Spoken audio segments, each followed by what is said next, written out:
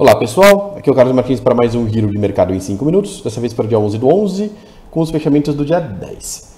Ibovespa derretendo 3%, né? derreteu, desderreteu, depois derreteu de novo durante o dia aí, né? chegou até menos 3, depois voltou para menos 1, depois voltou para menos 3, e aí com isso ele volta para os 61 mil pontos de novo, tá? então ele perde de novo aqui o suporte dos 62, e entra aqui nessa área densa do triângulo, bate também na linha de tendência do Fibonacci, né, chegar próximo dos 60.300, que é o suportão mais forte que ele tem aí para testar.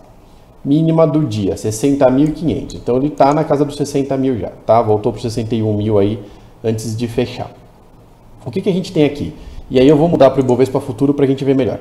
O que, que a gente tem aqui? A gente tem aqui ele devolvendo esse ímpeto de alta né, que a gente viu deu no comecinho de novembro, tá? Então a gente viu aqui um ímpeto de alta no comecinho de novembro, ele tentou devolver, se arrependeu e devolveu em definitivo hoje, né? Montou aqui uma um envolvente de baixa, né, com um volume um pouquinho menor que o da barra anterior, mas mesmo assim são dois volumes muito mais altos que a média, tá? E aí, obviamente, por causa desse embalo aqui, ele pode ainda voltar mais um pouco, mas o mais importante, tínhamos um gap aqui do 61.920 até o 62.220.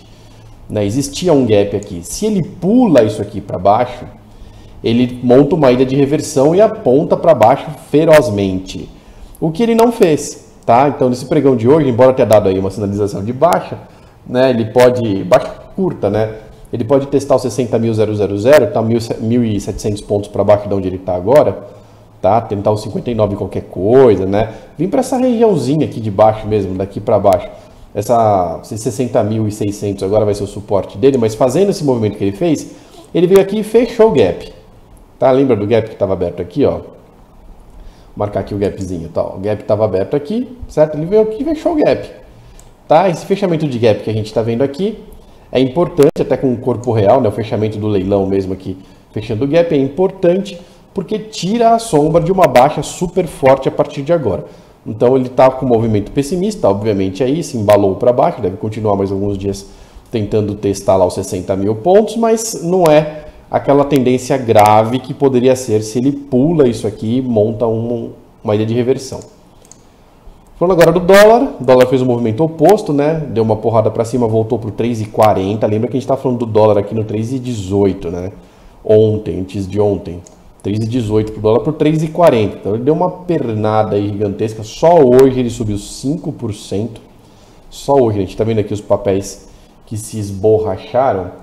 Né, o, o Bradesco, que soltou um fato relevante aí, caindo 8%. O Bradesco caiu 8% é muita coisa, né? 9% praticamente. O Itaú caindo 5%, a gente vai ver daqui a pouco, né? A Petrobras, normal cair 7% a Petrobras, a Petrobras está com uma volatilidade monstro, meu, mas o Banco do Brasil caindo 6% num dia só, né? Tem muita coisa mesmo. E a Vale destoando aí, subindo 8%, a Fibra subindo 11%, né? Então são os papéis aí que fizeram com que o Ibovespa não caísse ainda mais, né? Senão ele podia ter caído aqui próximo dos 4% se todas as blue chips acompanhassem essa queda do dia. Mas com essa alta aqui do lado 3,40, ele volta para a nossa resistência, que era 3,39, né? Ele chega aqui no 3,40. A gente tem de cima para baixo, né? Exatamente o 3,40, que foi onde ele parou, foi o fundo anterior, tá? Acima disso pode ir um pouquinho mais da 3,45, mas essa região aqui realmente é uma resistência forte para o dólar. Tem que ver o que ele vai fazer amanhã, né? Não tem é, muito mais o que ver. A gente pode dar uma olhadinha aqui no dólar intraday, tá? Vamos dar uma olhadinha aqui no código dele mesmo, no Z. Eu vou ver o, o código do mini dólar. Olha que absurdo, né? Vendo o código separadinho, como essa alta foi expressiva. Vamos dar uma olhada aqui nos 6 minutos, ver se a gente vê alguma tendência. A tendência que a gente acabou de ver aqui é do 3,40 mesmo. Vamos dar uma olhada mais longe né? Tava apontado aqui para o 3,40 mesmo, que foi onde atingiu. Vamos dar uma olhadinha no gráfico de 120 minutos, para ver se tem alguma tendência mais longa, que a gente não estava olhando. Também apontado aqui para o 3,40 no 120 minutos, que foi onde bateu hoje, né? Fechou 3,41 até. Dá uma olhadinha aqui no gráfico de 90 minutos. 90 minutos tem que projetar para cima, porque ele não está pegando o gráfico todo ali.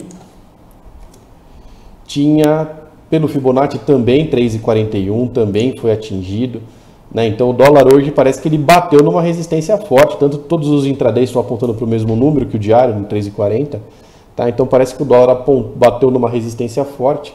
E assim como o Ibov também bateu numa, num suporte forte lá ao à vista, pode ser que eles se acomodem né, e um, devolvam um pouco desse movimento aí ao contrário nessa sexta-feira. Lembrando que sexta-feira normalmente anda ao contrário da semana mesmo. Vamos para os papéis, falando da Petrobras. Petrobras também fez um envolvente de baixa aqui, 15,50. Tá? Petrobras que abriu para cima, fechou para baixo aqui, montou uma projeção para bater de volta no 14,09. 15,56 era o suportinho, também perdeu. Né? Então ela está apontada para o 14,09, que é o suporte mais forte dela. Se passar para baixo do 14,09 da caquinha, mas por enquanto o 14,09 é o, o nosso suportão aqui. Vale 5 na contramão, né? A Vale 5 está marcado aqui o identificador de gaps, ela não deu gap hoje, por pouco não deu gap, tá? Deu gap de abertura, né? Mas entre máximas e mínimas não deu.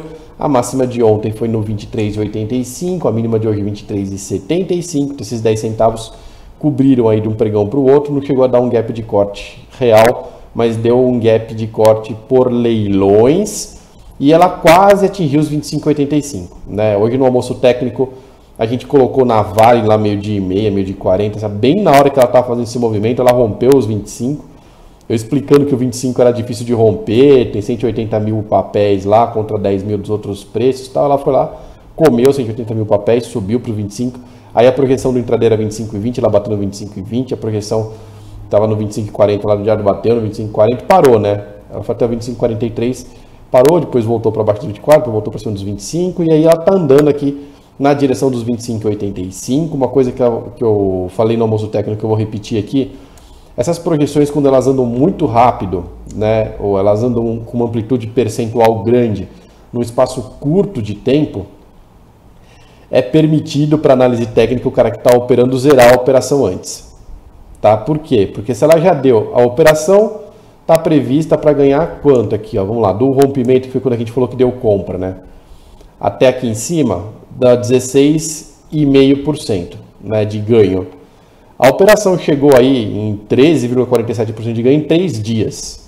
Né, 3 dias, uma operação, se você olhar o tamanho aqui do Fibonacci que montou, tá para 30 dias úteis, né? ou seja, um mês e meio, 45 dias corridos. Em 3 dias, ela bateu aí praticamente é, 80% do, do que era esperado. É permitido você zerar essa operação antes de bater na meta. Tá? Isso daí é, é por causa da, do tanto que vale a pena, porque depois ela volta aqui, fica andando um tempo, um tempão aqui, depois de um mês ela volta a bater 25,85 e aquele mês você está com o dinheiro parado lá, principalmente para quem opera a opção, porque se ela dá uma voltada aqui, a opção perde totalmente o valor. Tá? Então, é, quando ela chega muito próximo, assim, muito rápido, é normal zerar a posição um pouco antes, mas pelo gráfico aqui ela está realmente apontada ainda para o 25,85, isso não mudou. E como ela já passou aqui do 2409, já estava no 21 e 25 suporte dela, né, dá até para subir para o 22 e 34 já para essa operação já está no positivo para quem está dentro dela ainda, quem não zerou aquela hora lá da meio de meia a uma hora quando ela estava testando o 25 e 40.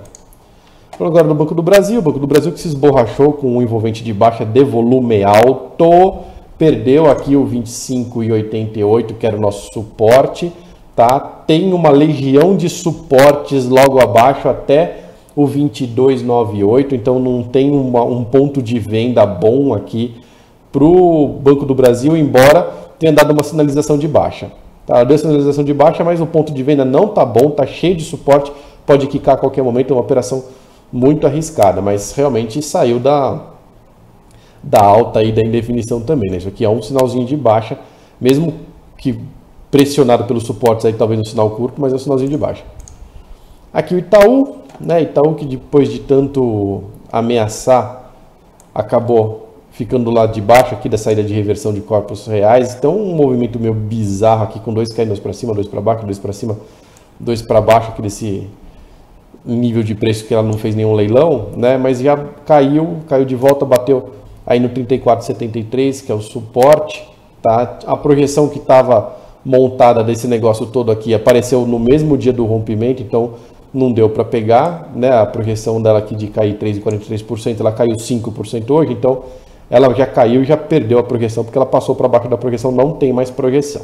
Tá? Então o YouTube 4 já caiu, ela pode cair mais, obviamente, mas como ela tocou no suporte e voltou, ela deve ficar entre 36,29 e 34,73 aí alguns dias. E para encerrar, vamos falar da Ambev, Ambev que está ainda em volta dos 18,00, né? Agora foi um pouquinho para cima, 18,05.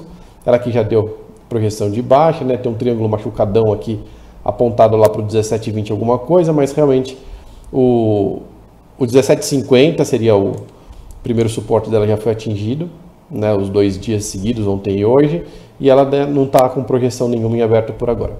Agradeço muito a presença de todos e até o próximo giro de mercado em 5 minutos.